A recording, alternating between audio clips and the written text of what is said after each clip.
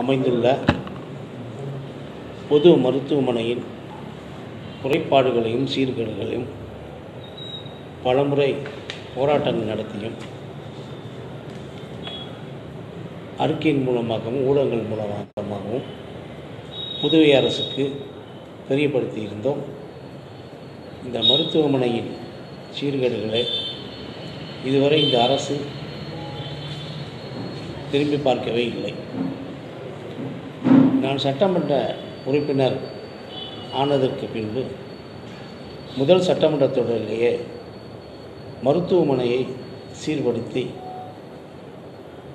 மருத்துவமனையில் மருத்துவமனையில் இல்லை இதனால் காரைக்கால் உள்ள பேஷண்ட் எல்லாம் பாண்டிச்சேரிக்கு அனுப்பப்படுகிறார்கள். அதனால் பல உயிர்கள் இழக்கப்படுகின்றது. எனவே உடனே இந்த சிறப்பு மருத்துவ வசதிகளையும் நிபுணர்களையும் காரைக்காலிலே நீங்கள் நியமிக்க வேண்டும் என்று நான் சட்டமன்றத்தில் நானும் என்னை சேர்ந்த காரைக்கால் சட்டமன்ற உறுப்பினரும் குரல் எழுப்பினார்கள். அதன் மூலமாக பதினேழு பதினெட்டு கூட்டத்தொடரிலே மாண்பு முதலமைச்சர் அவர்கள் காரைக்கால் மருத்துவமனையை சீர்படுத்தும் வகையில் முப்பது கோடி ரூபாய் ஜிப்பன் மூலமாகவும்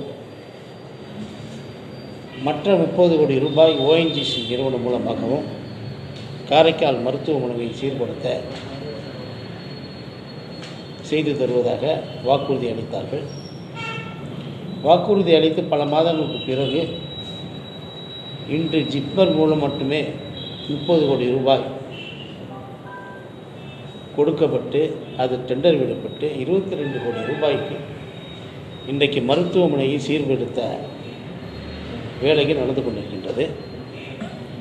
நாங்கள் சட்டமன்றத்திலே குரல் எழுப்பியது காரைக்கால் மருத்துவமனை அதில் அடங்கிய பகுதியில் சிறப்பு அந்த operation theatre cardiology numerology surgery எங்களை அமைத்து கொடுக்கணுன்றதான் நாங்கள் வந்து சட்டமன்றத்தில் குரல் எழுப்பினோம். ஆனால் இன்றைய சூழ்நிலையை பார்க்கும்பொழுது மருத்துவமனையில் மருத்துவமனை மட்டும்தான் சீல் பண்ணுறாங்க அதாவது ரெனோவேஷன் மட்டும்தான் பண்ணுறாங்க தவிர இப்படிப்பட்ட அந்த சிறப்பு பிரிவுகள் காரைக்காலில் அந்த மருத்துவமனையில் அமைப்பதற்குள்ள அந்த ஸ்ட்ரக்சர் அந்த வரைபடத்தில் கிடையாது. இதை நாங்கள் குறிப்பிட்டு கேட்டபோது எம்எஸ் சொன்னாங்க எங்களுக்கும் அதுக்கும் சம்மந்தம் கிடையாது. இது ஜிப்பர் மூலம் தான் இங்கே பண்ணுறாங்க அதனால் இது ரெனோவேஷன் மட்டும்தான் பண்ண முடியும். இவங்க கொடுத்த அமௌண்ட்டில் இந்த சிறப்பு பிரிவுகள் எதுவுமே வராது என்று திட்டவட்டமாக சொல்லிட்டாங்க. நாங்கள் இதை கருத்தில் கொண்டு மாண்புமிகு முதலமைச்சர் அவர்களுக்கும் சம்பந்தப்பட்ட அமைச்சர் அவர்களுக்கும் ஒரு மனு கொடுப்பதற்காக மனு தயாரித்து கொண்டிருக்கின்ற இந்த வேளையில் காரைக்கால் மருத்துவமனையில் தொடர்ந்து புறக்கணிக்கப்படுகிறது எப்படின்னு வச்சுக்கோங்க இது வரைக்கும் காரைக்காலில் உள்ள இந்த செவிலியர்கள்லாம் நீங்கள் பாண்டிச்சேரிக்கு மாற்றப்பட்டிருக்கேன்னாங்க அந்த மாற்றப்பட்ட இடத்திற்கு இதுவரை மறு நியமனம் நியமிக்கப்படவில்லை. அந்த நிலையில் காரைக்காலுடைய மருத்துவமனை இன்றைக்கி இயங்கி கொண்டிருக்கின்றது. நேற்றை முழுதினம் பார் பார்ப்பீர்களானால் ஒரு பதினாலு சிறப்பு நிபுணர்கள் மாற்றப்பட்டிருக்கின்றார்கள். சிறப்பு நிபுணர்களும் மருத்துவர்களும் மாற்றப்பட்டிருக்கின்றார்கள். அந்த பதினாலில் வந்து ஒம்பது இடங்கள் மட்டும்தான் நியமிக்கப்பட்டிருக்கின்றார்கள். மற்ற ஐந்து இடங்கள் நிரப்பப்படவில்லை. அது முக்கியமான அதாவது தோல் ஸ்கின்னு அந்த இஎன்டி இது போன்ற முக்கியமான நிபுணர்கள் இந்த இடத்த மாற்றி போட்டிருக்காங்க.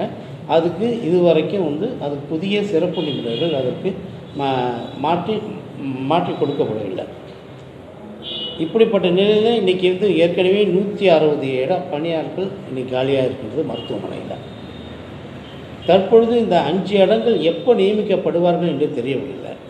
இதனால் தொடர்ந்து வந்து காரைக்காலுடைய மரு மருத்துவ உரிமை புறக்கணிக்கப்பட்டே வருகின்றது. எனவே தான் இந்த ஐந்து நிபுணர்கள் சிறப்பு நிபுணர்களை உடனே அரசு நியமிக்க வேண்டும்.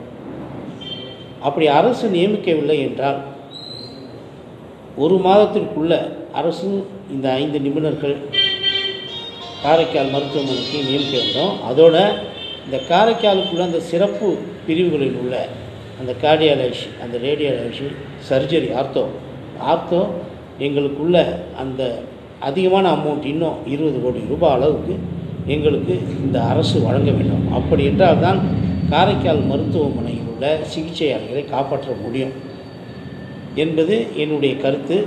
இந்த கருத்தை வந்து இந்த ப- அதாவது என்னுடைய கருத்து என்பது மக்களுடைய கருத்து. இந்த கருத்தை இந்த அரசாங்கம் ஏற்கவில்லை என்றால் குறைந்தது ஒரு மாதத்திற்குள்ள எங்களுக்கு இந்த அரசு இதெல்லாம் சீர் செய்து கொடுக்கணும். இல்லை என்றால் கண்டிப்பாக என்னுடைய தலைமையில் பொது மருத்துவமனையை முற்றுகையிட்டு முற்றுகை போராட்டமாக இறங்குவோம் என்று இந்த நேரத்தில் நான்